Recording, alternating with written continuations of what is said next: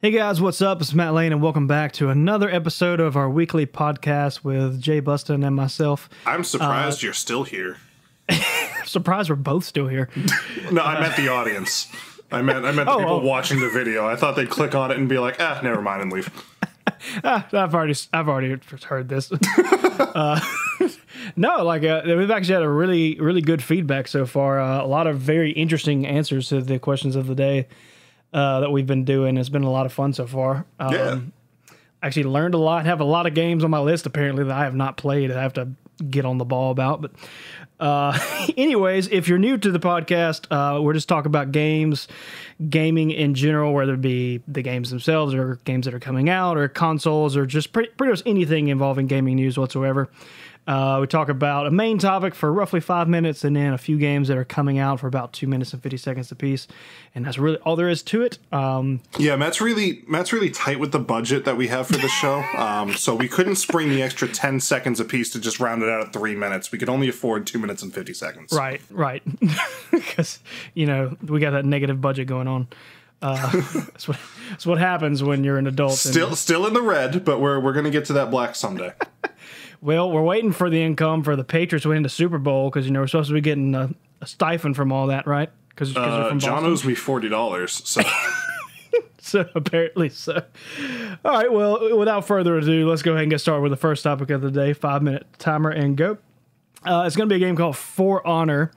Um, and just to give you a little bit behind the scenes thing, uh, we'll be recording this right before it comes out. We kind of do a little bit of getting ahead of ourselves. That way we have a little room to work with. So uh, we don't know every single detail, but it will be out by the time this video goes live. So we're going to go ahead and talk about it right now. And Jay is actually going to talk a little more about this than I am because he's a little, a little more into it. So go ahead. All right, so yeah, like like Matt said, this game isn't actually out yet, but we can already tell you a couple of things about the launch of this game.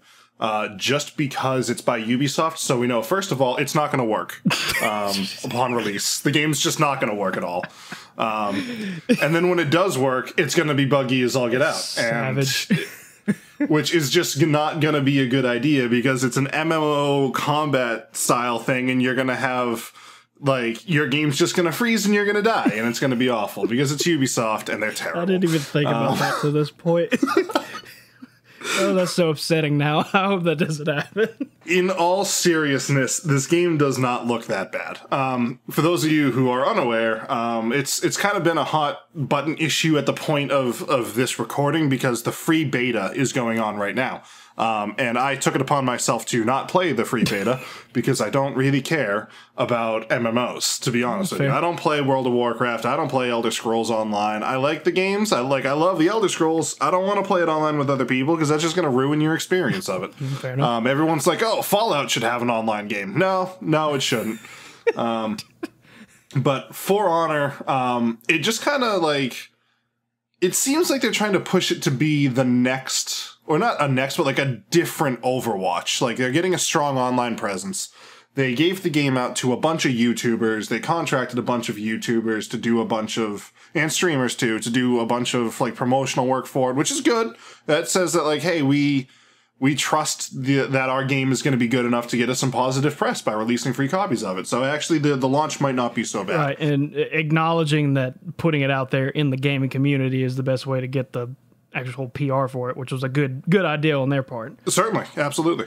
Um, but it's it's a combat game where you pick one of three factions. There's Vikings, there's Knights, and then Samurai. Um, and I don't know why you would not pick Samurai out of those three, but that's you know that's just my opinion. My best guess is they're going to do some sort of ridiculousness to where they make the samurai not have a lot of defense. Well, that's what I'm I'm kind of because we didn't like like I said, this game isn't out yet. I didn't play the beta, um, and so I'm wondering if there are different like like are the Vikings strong but slow? Are the knights kind of well rounded and the samurais fast but you know not necessarily have the most defense? I don't know about that. Um, I do know that within each faction, there's like different loadouts you can get. So it's not like every samurai player is running around with a katana. You know, there's different kinds of armor, there's different weapons. Thank, thank goodness, 'cause you know how terrifying it would be to see like a plethora of like 200 people rocking with freaking katana. you just lo- you load into the game with your your medieval knight with your you know King Arthur shield and and knockoff of Excalibur, oh, and you gosh. just like turn around, wait for the game to load behind you because again it's a Ubisoft game, mm-hmm. and then all of a sudden just this sea of katanas are just running at you, and you're just like, nope, I quit. Uh, I, I, know this may not be a question we know the answer to. Do you, by chance, know roughly like how many people are going to be in a match? Um, I don't. I don't know that, and we probably should have looked that up. In all fairness, um, but it, they make it look like it's a big battlefield. Like there's a lot of people. That it's not going to be focused on one on one, but it's going to be team based, and it's going to be, you know, you're going to have to be able to hold your own against two or three opponents while you're waiting for your team to stop dicking around and get back to you. But um, right, the trailer, the trailer definitely looked like there was a lot of people playing at once. Yeah, and so that's kind of cool. Um, I, I do like that. You know, this this is going to be a game where you're only going to succeed as much as your team works with you. You know, mm. which is it's it's not.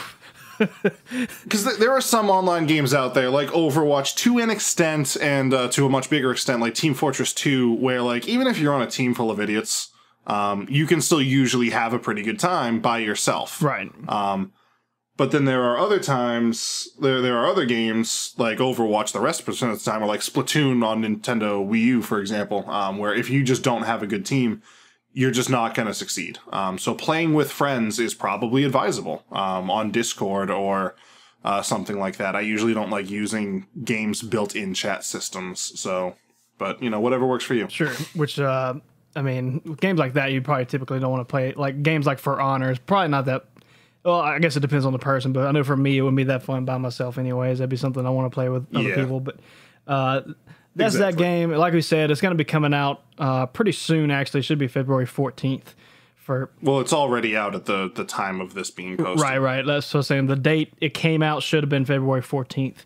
Um, so if you haven't picked it up by this point, uh, and this is something you're interested in, you like that type of game. Yeah, if you're into that online competitive um, type of thing, then then this is going to be a great game for you. Yeah, it's definitely worth a look at, at worst case scenario. But that's it for that game. Moving on to the games that are going to be coming out soon. Our first topic of the day, we'll go ahead and start the two minute fifty second timer. Is going to be Mass Effect Andromeda. Um, it's kind of interesting that they actually chose to come out with another one because a lot of people were very unhappy after the end of Mass Effect 3. Uh, and I know Jay told me earlier he didn't really play any of the Mass Effect series, but um, imagine you're playing this game that the entire principle is you constantly having to work to save the Earth and keep it from destruction, only for that to happen anyways at the end.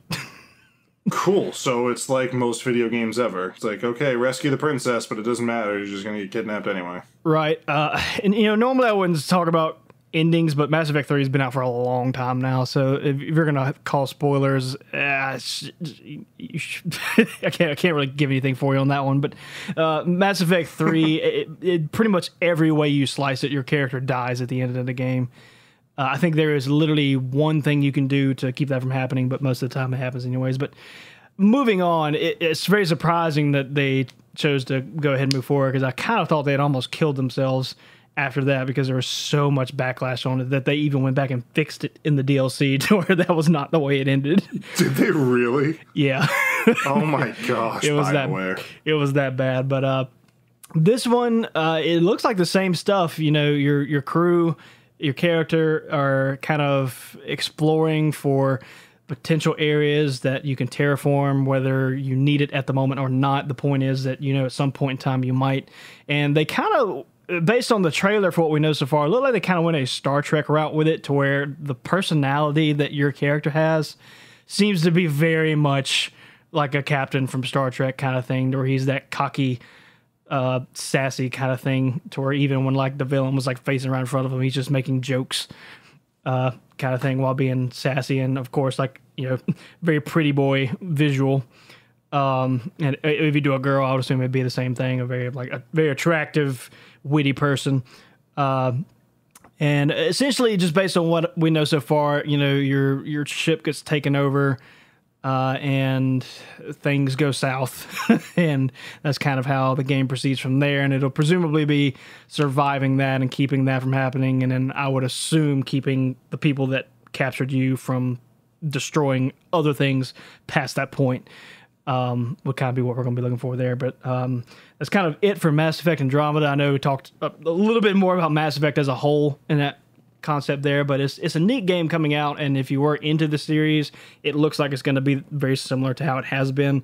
Um, so it's definitely worth checking out. Should be out sometime in the middle of March, roughly around March 21st or so. So if you are a Mass Effect, Yeah, March 21st for North America. yeah, if you are a Mass Effect fan and you're not just lividly pissed off at the end of three, uh, and you haven't given up on the series, make sure to check it out.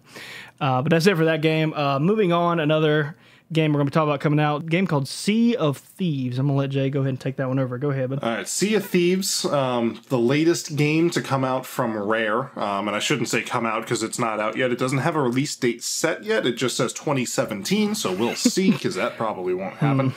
um, but Sea of Thieves, uh, just to give you guys like a, a background of how we we film these podcasts or record these podcasts, we basically just like look up games that are coming out or games that have come out or things we're excited about. Um, we stumbled across the name Sea of Thieves, and I was like, oh yeah, I remember that from E3. And so I did some research on it. I looked it up and I was like, I kind of want this game now. so I sold myself on this game.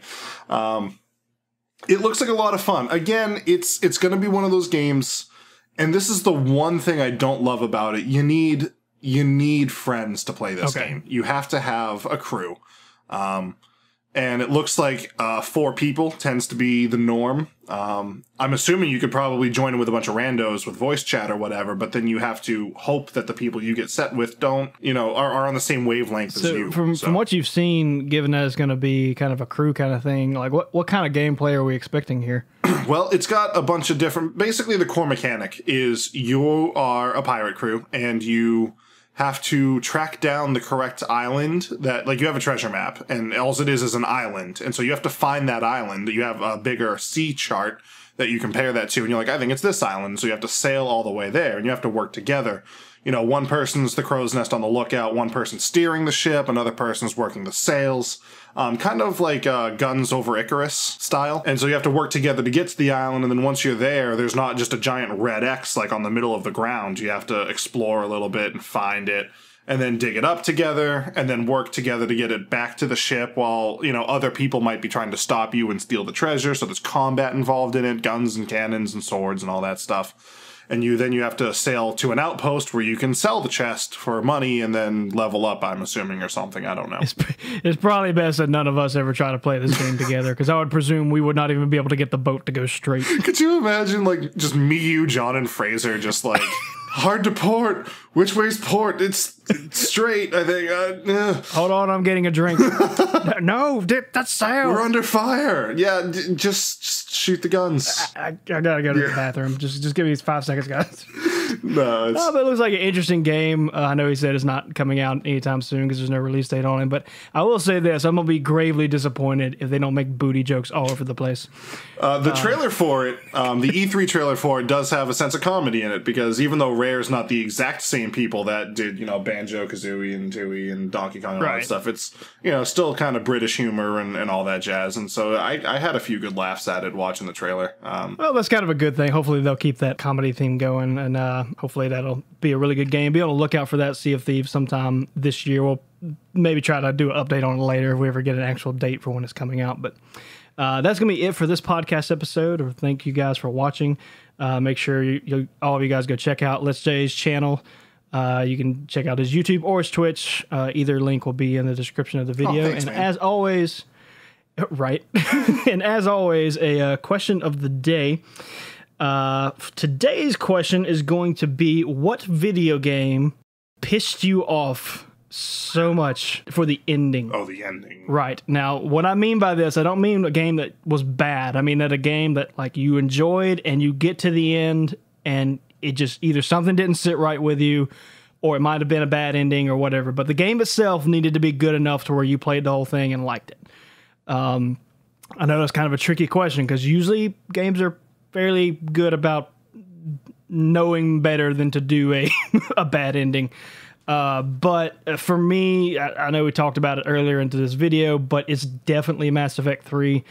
Uh, I don't remember the last time I was that angry at the game when that incident happened because it's mostly because of how hard you have to work to keep things the way they are, and then only for all of that to be for nothing. And you're just like, son of a. One one could say that you tried so hard and, And got, got so so- far, But in, but the, in end, the end, it didn't even matter. it was just a load of crap. See, Linkin Park, they, they just know. Like, Nosferatu has nothing on Linkin Park. but that that's my answer for that. Uh, Jay, Jay, do you have one that comes to mind? Mine's a little different, but it's um I'm gonna go ahead and I, the only reason I'm gonna say this is because I recently streamed it is Hyrule Warriors. Um, I was having a ton of fun with the game. The game's story wrapped up like in a very nice manner, like everything was good, everyone was happy, and then it just rebooted. And it was like, we want more levels. So the bad guy's magically alive again, and the world is going to hell again, and you have to save it again. And I was like, why? why do I have to do this again? So you'll play the game more. Exactly. It was like we just want to make five more levels. You've already gone through thirteen, but here's five more. Just, just It's, because. it was just I was like at that point I was just sick of playing the game. I was like I, I just want to finish this so I can be done with it. Yeah, I remember. Although the final boss fight was wicked cool. I will say that. yeah, I do remember watching that stream a little bit and you getting rather frustrating when trying to kill uh, Zelda and Link at the same time. Okay. yes. uh, bad times. But uh, Bad yeah, so just in the comments below, just just let us know what game kind of really irked you at the end, um, and and possibly why, if you want to put as to not only what made you mad, but why it made you mad. Uh, but that's gonna be it for today's podcast episode. Thank you guys for stopping by and listening, and as always, we will see y'all on the next episode. It's nice of you to warn them that we'll be there next episode. right? Hey, we will be here.